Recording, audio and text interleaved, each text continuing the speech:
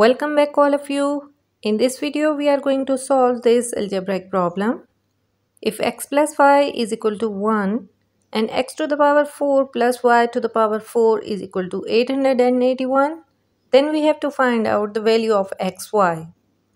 Let's name this equation x plus y is equal to 1 as equation 1. In the first step we will take the square of this equation 1 on both sides taking square of equation 1 on both sides we get x plus y whole square on the left hand side and 1 square on the right hand side.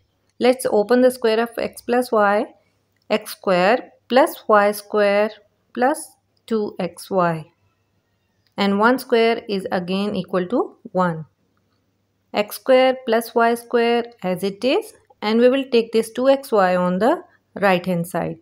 It will become 1 minus 2xy. We will take the square of this equation once again on both sides. It will become x square plus y square whole square and on the other side 1 minus 2xy whole square. Let's open the square uh, one by one. x square plus y square whole square this is equal to x to the power 4 plus y to the power 4 plus 2 x square y square.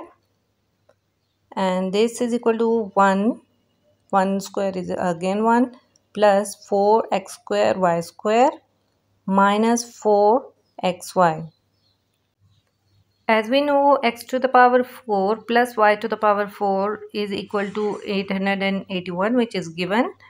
Uh, so we will put in the value 881 and rest as it is.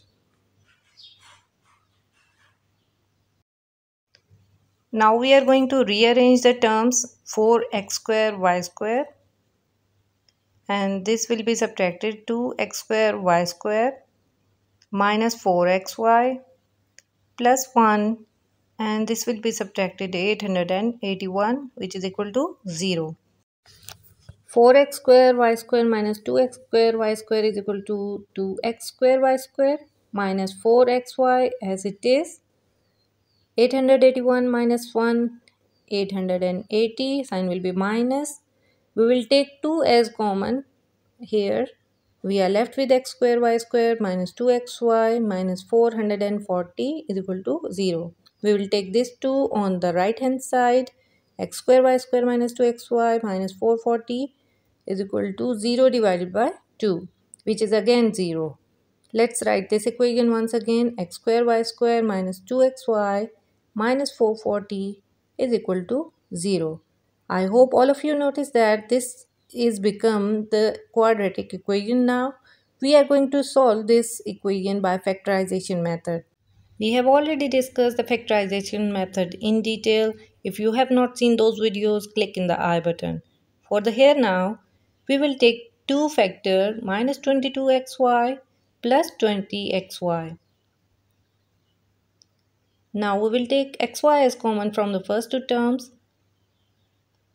We are left with xy minus 22 and here we will take 20 as common. We are left with xy minus 22 is equal to 0. It means xy plus 20 is equal to 0 uh, or xy minus 22 is equal to 0 which leads us to xy is equal to minus 20 or xy is equal to 22. These are the things we have to find. We have to find the value of xy which is either minus 20 or 22. I hope all of you understood this. Practice more and more to be perfect. If you have any question, any query, write in the comment box. Thanks for watching.